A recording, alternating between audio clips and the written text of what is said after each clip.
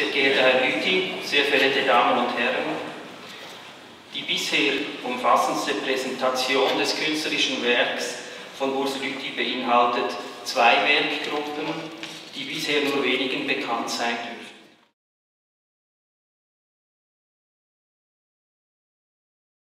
Zum einen die jüngst entstandenen Wachskulpturen, die durch ihre poetische Fragilität überraschen, zum anderen das Frühwerk Lüthis Malerei vor 1970. Es wäre also ein leichtes gewesen, die Ausstellung von diesen beiden Polen aus als Parkour anzugehen, starten bei der stark grafisch geprägten Kunst der 1960er Jahre und schließen bei den jüngsten Ex-Voto-Skulpturen. Doch eine solche Aneinanderreihung von Schaffensphasen hätte vielleicht nur erneut jene Irritationen evoziert, die sie in ihrer Zeit ausgelöst hatten. Etwa wie in den 1980er Jahren, als Lüthi scheinbar unvermittelt die fotografischen Selbstporträts, die ihn berühmt gemacht hatten, hinter sich ließ und zu malen begann. Und auch Sie werden sich eventuell noch heute in der Ausstellung fragen, stammt das alles vom gleichen Künstler?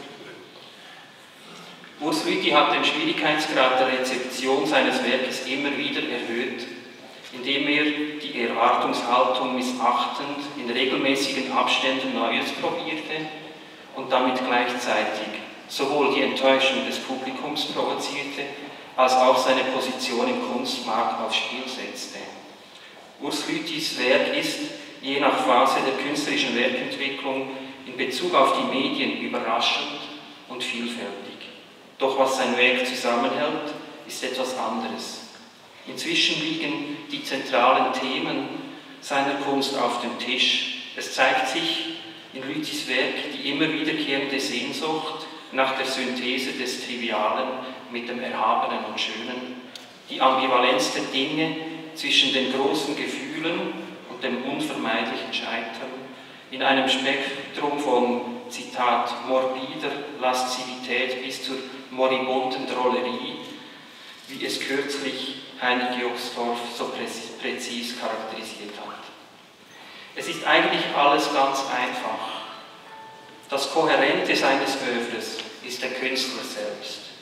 Lüthis Kunst ist die Fortschreibung eines künstlerischen Lebens. Stets ist seine Person und seine Biografie der Ausgangspunkt für ein Werk und seine Bildaussagen so hochtrabend oder ironisch, so sentimental oder intellektuell sie auch daherkommen mögen, verbindet er dabei immer mit einer Begeisterung für das künstlerische Handwerk. Lüthi ist ebenso ein begnadeter Zeichner, Drucker, Maler und Bildhauer wie Erzähler und Inszenator von großen Geschichten und kleinen Gefühlen. Diese Dialektik von Form und Inhalt, die den Betrachter und die Betrachterin zu einer ästhetischen wie intellektuellen Erfahrung führt, prägt sein ganzes Wirken.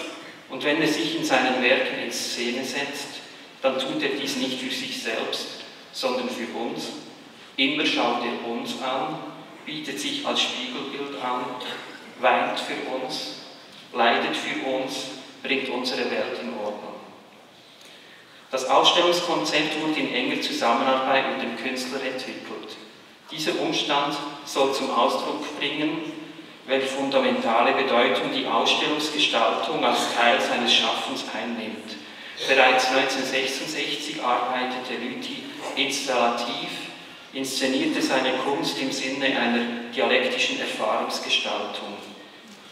Die Luzerner Ausstellung folgt nun eben keiner Chronologie, sondern macht die großen thematischen Linien innerhalb des Gesamtwerks deutlich, indem Räume mit Exponaten aus verschiedenen Werkphasen eingerichtet wurden.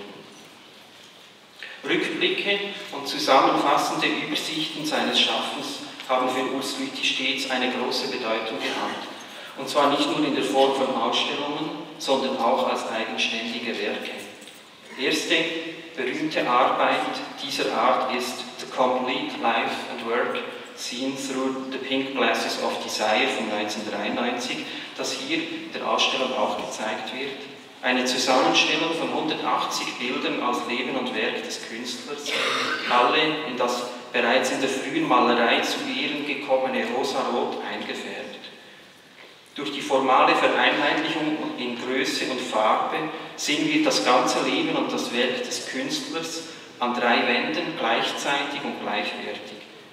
So wie hier hat Urs Lüthi auch bei anderer Gelegenheit sein bisheriges Schaffen als Fundus aufgefasst, einzelne Themen und Aspekte wieder aufgegriffen, neu kombiniert und zu neuen Bildfindungen erweitert. Und so ist denn auch diese Ausstellung als ein neues, aus dem vollen Fundus geschöpftes Werk zu verstehen, eine Vergegenwärtigung von allem, was Lüthis Schaffen ausmacht.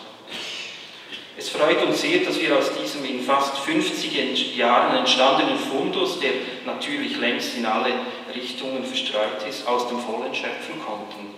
Zu den wichtigen Leihgebern zählen neben mehreren Schweizer Museen das Lembachhaus in München, das Kunstmuseum Stuttgart sowie das Centre Pompidou in Paris. Aber auch viele Private haben sich von ihren Werken getrennt.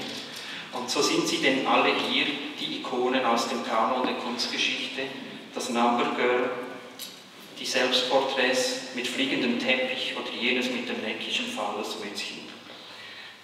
Mit Luzern ist der heute in München lebende Künstler stark verbunden. Hier verbrachte er seine ersten Lebensjahre und hatte bedeutende Auftritte in berühmten Ausstellungen.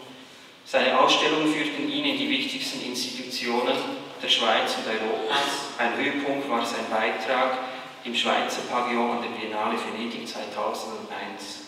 Unsere Retrospektive ist gleichzeitig seine erste Einzelausstellung im Kunstmuseum Luzern. Art is the Better Life ist deren Titel, doch was ist damit eigentlich gemeint? Bereits als 10-, 11-jähriger Knabe beschäftigte sich der 1947 in Triens geborene Urs Lüthi intensiv mit der Kunst. Er hat die Biografien der großen Meister verschlungen und ihre Lebensdaten auswendig gelernt. Er hat den Luzerner Kunsthändler Siegfried Rosengart aufgesucht, der ihm geduldig Gemälde und Grafiken von Picasso zeigte. Und gemeinsam mit einem Schulkollegen Alleine traute er sich nicht, hat er regionale Maler in ihren Ateliers besucht, um zu sehen, was diese malten. So war er etwa bei Leopold Häfliger oder bei Hugo Bachmann, der ihn damals sogar porträtiert hat. Die Welt der Kunst nahm offenbar mit aller Kraft diesen Jüngling in Beschlag und Lüthi führte in einem Gespräch aus, dass ihm in dieser Zeit klar geworden sei, dass er Künstler wolle. Aus heutiger Sicht kam er damals zur Einsicht, dass das Leben eigentlich relativ langweilig ist und dass die Kunst ein besseres Leben biete. Art is the better life ist sein Lebensmotto geworden und das Leitmotiv seines Schaffens. Ich bedanke mich sehr herzlich bei Urs Lüthi für die äußerst angenehme und spannende Zusammenarbeit. Das Einrichten war eine Freude. Sie sind nicht nur ein großer Künstler, sondern auch ein großartiger Mensch. Ich freue mich nun mit Ihnen allen auf die Eröffnung dieser Ausstellung anzustoßen und bitte Sie um einen herzlichen Applaus für Urs